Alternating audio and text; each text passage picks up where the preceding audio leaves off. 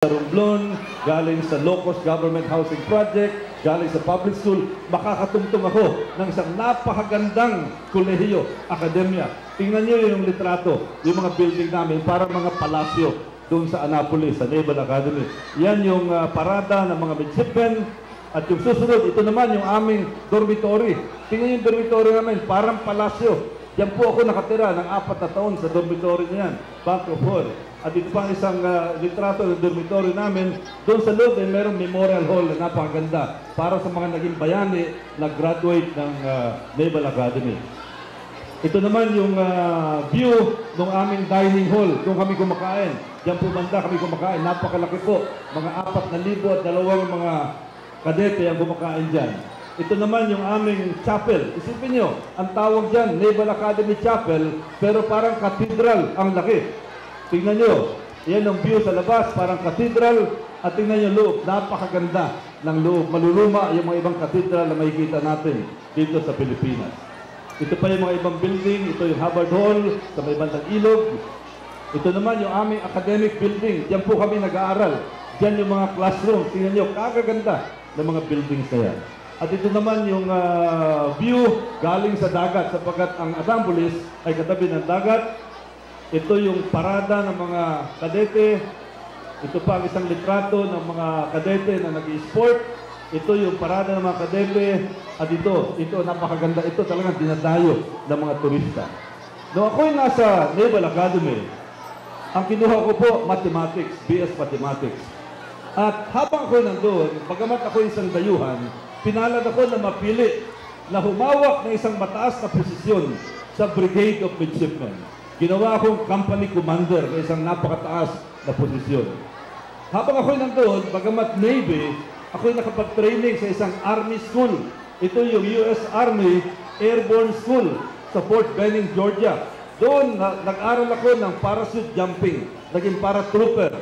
Si Roy Lugoles, lumundag sa aeroplano, lumundag sa helicopter. At habang nasa Naval Academy, ang napili kong sport, hindi po basketball na sikat na sikat dito sa Pilipinas, kundi basagan ng mukha, boxing. At doon, nakasagupa ko, nakipagbasagan ako ng mukha sa lahat ng klaseng Amerikano. Lahat ng kulay, itim, puti, dilaw. Nakipaglaban po ako ng apat na taon. Sinuwerte po ako. Si Roy Lugoles, sa loob ng apat na taon, hindi po natalo. Naging undefeated boxing champion sunod-sunod sa loob ng apat na taon ang inyong congressman doon po sa Naval Academy. Ito yung litrato namin, mga brigade champion. Ito naman yung litrato ko, noong ako'y napalaban sa isang itim na boksingero. Tinalo ko siya. Yan yung pangalawang kampionato ko. Gusto ko ikwento ito sapagkat ito nakalaban ko, ang pangalan niya si Charlie Bolden, Charles Bolden. Si Charles Bolden, sumikat sa Amerika. Matapos sa talunin ko siya, siya lumipat sa US Marine Corps. Naging Major General, naging astronaut. Ibig sabihin, astronaut pumunta sa kalawakan. Space Shuttle, naging sikat na Space Shuttle astronaut. At pagkatapos ngayon, lalo sa sumikat, sapagkat siya ay nahirang na maging pinuno administrator ng NASA. Ito yung National Aerospace Administration. Yan po si Charlie Bolden, tinalo ni Roy Lugoles sa boxing nung kami bata pa. Ngayon marami po nagtatanong, Congressman, alam namin na ikaw ay naging champion sa boxing, pero matagal na yan. Ang gusto namin malaman, kaya mo pa ba na mag-boxing? Eh, gusto kong sagutin yan sa pamamagitan ng papapakita sa inyo. Ito ay isang video na ginawa siguro mga ilang buwan lamang ang nakararaan. Ito lumabas sa YouTube. Panoorin niyo po. Ready,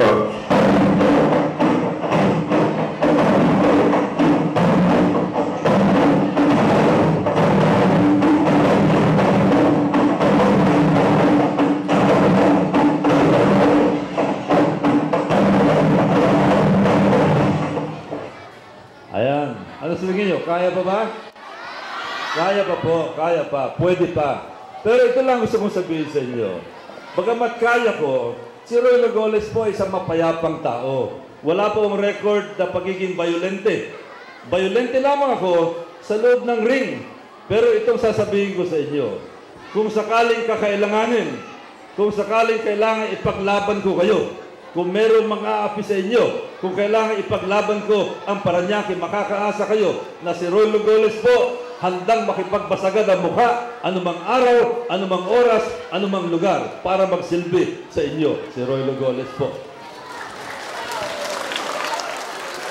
Pagkatapos ng Amerika, bumalik ako sa Pilipinas, muli nag-aral, pinagpatuloy ko ang pag-aaral ko. Bumalik sa UP, kumuha ng Master in Business Administration, MBA, pinalad na muli, gumraduate na number one, valedictorian po si Roy Lugoles sa UP. Nahirang na Postmaster General, dito marami sa inyo, dito niya ko unang nakilala. At habang nasa post office, nakipaglaban ako sa mga sindikato na bumibiktima sa inyong mga sulat. Ninanakaw yung pera sa sulat, ninanakaw yung mga pakete. At sa aking pagkipaglaban, kinilala po ang aking record at ako'y nahirang na nabigyan ng award. Ito yung 10 Outstanding Young Men Award, DOYM. Pero habang ako'y nagsisilbi, sumama rin ako sa isang talagang tunay na public service. Ito yung pagsisilbi ko bilang gobernador ng Philippine National Red Cross nang walang sweldo. Gobernador po ako ng Red Cross sa loob ng 20 taon. At dito, nagsilbi ako nung lumindol sa Baguio, nung sumabog ang Mount Pinatubo, nung bumabaha, nung maraming sakuna. Pero yung isang talagang pagsisilbi ko na nakilala ng gusto ay nung nagkaroon ng tinatawag na December 1989 coup attempt. Naalala nyo, nung maglaban yung mga sundalo, nagkaroon ng coup. Naglaban sa Camaguinaldo, nagbarilan, nagbombahan sa Makati. Si Roy Lugoles, namuno sa isang team, pinasok yung mga lugar na merong barilan, merong bombahan para iligtas yung mga sundalo na nasugatan. Kaya dahil nandiyan, kinilala po si Roy Lugoles na bigyan ng award na Bayani Gold Medal. Kauna-unahang Pilipino na nabigyan ng Bayani Gold Medal Award ng Philippine National Red Cross. 1992, nahalal na congressman. At dito, dahilan sa aking karanasan, yung mga bagay na hindi maganda na naranasan ko, pagtira ko sa Project 3, yung mga lansangan na sira-sira, yung mga eskwelahan na kulang, dito po nilungsad ni Roy Logoles yung kanyang sunod-sunod na programa.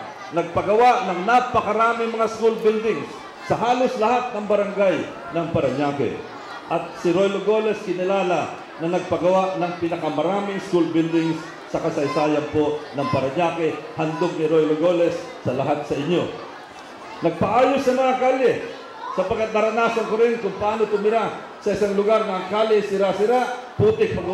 Sinabi ko, ayoko maranasan ang aking mga kababayan na sira-sira ang kalye nila. Nagpasimento na maraming kalye.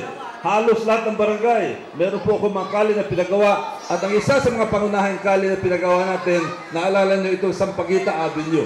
Dati lubak-lubak ito sa Sampaguita Avenue, pinasemento po ni Roy Logoles. Yung Dama de Noche, dati sira-sira, pinasemento rin ni Roy Logoles. Kaya sa dami po ng mga proyekto ito, kinilala si Roy Logoles na nagpasemento ng pinakamaraming kalye sa kasaysayan po ng Paranaque. Yan ay paglilingkod ko sa inyo. Nahalal muli noong 1995. Nahalal muli noong 1998. Pero merong term limit, natapos ang aking tatlong termino,